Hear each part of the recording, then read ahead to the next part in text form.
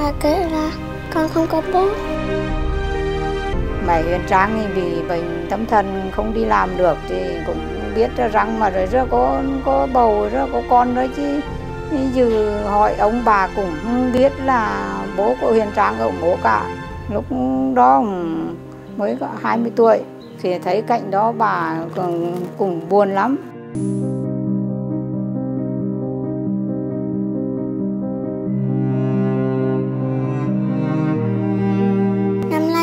6 trường trung học cơ sở Thái Nguyên? Tôi là Đinh Viết Thành là ông ngoại của bé Huyền Trang. Huyền Trang thì ờ, không có cha mẹ con thì ờ, sống với ông bà. Con nghe bà ngoại kể là con không có bố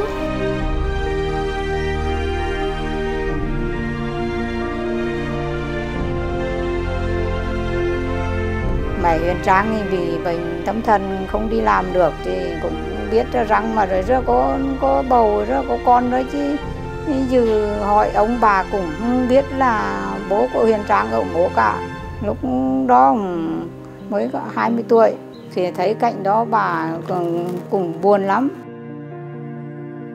Khi mà bé còn nhỏ bé chưa biết chi nữa còn bắt đầu bé đi học lớp 3 là về là bé cứ hỏi bà là bố con bố bà hải rằng mà các bạn có bố đi đón mà con cũng có.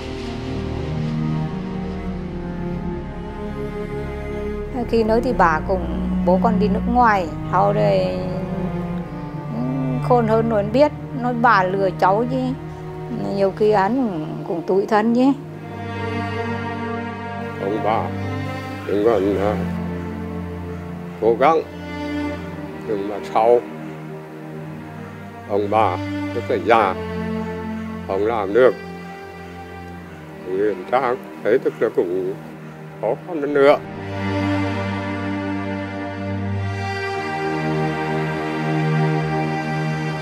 Nhiều đêm không ngủ được là cũng cứ nghỉ nữa nghỉ khi mà không may mà ông bà mất thì nói thật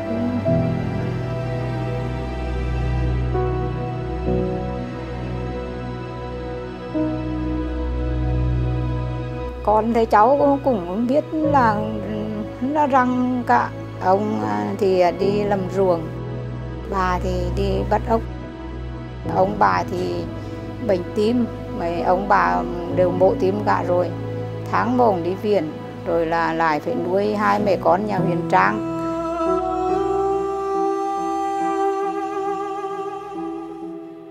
Khi sức khỏe ông bà mà yếu đi không lo được uh, bé Trang thấy ông bà cũng rất buồn. Con có ông bà ngoại thương con. Con rất yêu thương ông bà ngoại và mẹ.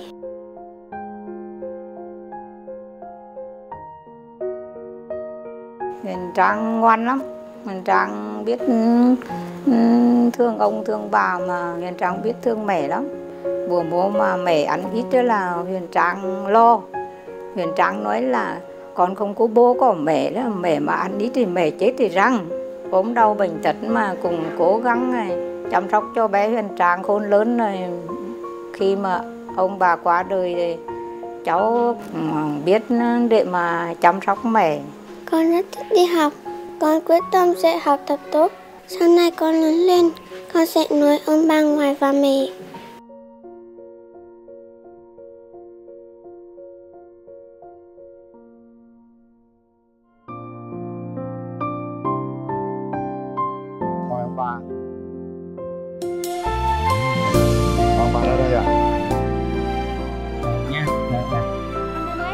Đây sang đứng đây đây thật ra xem cái đoạn à, video clip của gia đình trang xong chú linh cũng biết nói gì hết. Thấy nó khó quá. Cho chú linh ôm con cái nào qua đây. Một cô bé một cô bé quá bất hạnh. Con ơi chú tin rằng á, là ông trời có mắt á tất cả những điều bất hạnh của con đó ông trời sẽ bù đắp cho con. Con sẽ làm cô gái ngoan hiền giỏi và thành công sau này nhé con nhé. Đừng suy nghĩ gì hết. Mọi người vẫn luôn bên con. Mình phải tự hào. Mình à, có mẹ sinh ra mình nè. Tự hào có ông bà ngoại nè. Ai nói gì kệ người ta. Con á không quan trọng mình vẫn sống trên cõi đời này với tình yêu thương ông bà và nhiều người nữa con nhé.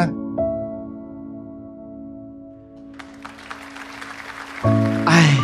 Đây đây nhưng mà cho cô thu hương tự hỏi này. Ban nãy là cô hương nhìn thấy con viết rất là đẹp đúng không? Đúng rồi. Chữ rất là đẹp cơ. Lông mi dài cong vút gương mặt rất là xinh xắn luôn.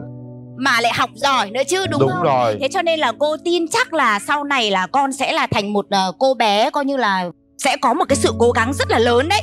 Sẽ sẽ là thành đạt đấy. Cô nhìn là cô biết đấy. Cho nên là con cứ cố gắng lên nhá. Mà như vừa rồi chú linh đã nói rồi mọi người sẽ không bao giờ là bỏ qua con. Con có những gì đấy khó khăn thì con không chỉ riêng chương trình này đâu mà sẽ còn có rất nhiều những người khác mọi người ở xã hội là mọi người sẽ cứu mang mọi người sẽ giúp đỡ. Con cứ yên tâm nhá. Con cứ cố gắng lên và mình cố gắng thì mình sẽ vượt qua được tất cả mọi khó khăn. Đúng rồi. Đúng không? Bà ơi rồi mẹ của bé trang đó ờ, có tự ờ, lo cho mình được không bà?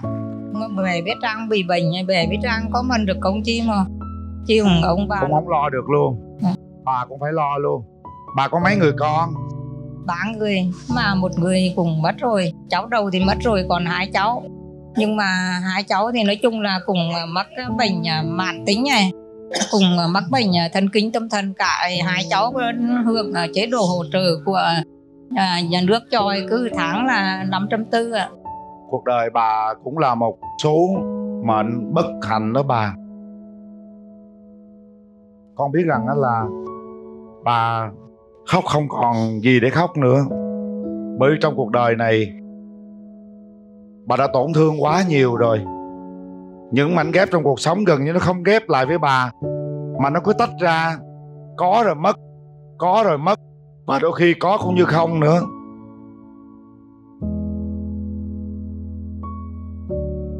Chia sẻ với bà nhé. Rồi à, mọi điều sẽ tốt đến với bà thôi.